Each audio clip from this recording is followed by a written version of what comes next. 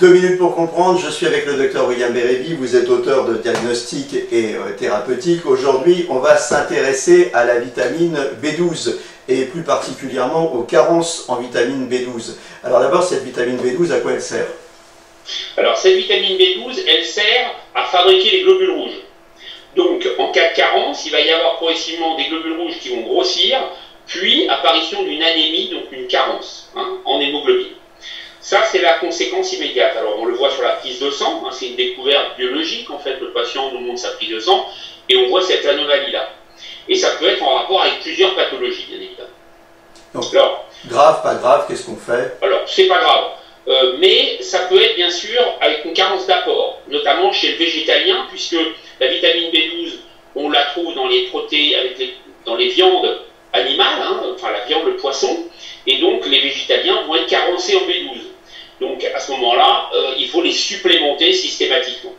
La deuxième grande pathologie, c'est euh, ce qu'on appelle le syndrome de non-dissociation, c'est-à-dire que la B12, sans rentrer dans les détails, ne va pas être séparée de sa, protéine porteuse et donc ne pourra pas être absorbée dans l'intestin grêle. Et puis la troisième grande cause, c'est ce qu'on appelle la maladie de Birmer, qui est, assez connue. Alors là, c'est une maladie auto-immune, c'est complètement autre chose. C'est-à-dire qu'à un moment donné, le patient va fabriquer des anticorps contre lui-même, contre son propre estomac, euh, qu'on pourra détecter sur une prise de sang. Et lorsqu'on va faire une endoscopie gastrique, on va trouver une atrophie de son estomac. C'est comme ça qu'on va faire le diagnostic. On va faire des biopsies et ainsi, on va diagnostiquer l'atrophie euh, qui est une cause classique de carence en vitamine B12.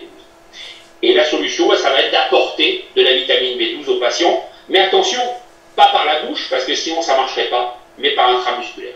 Voilà, vous savez tout sur les carences en vitamine B12. À très bientôt et d'ici là, portez-vous bien. Nos émissions vous plaisent, alors aidez-nous à faire grandir la chaîne pour parler santé au plus grand nombre. Partagez, likez, abonnez-vous.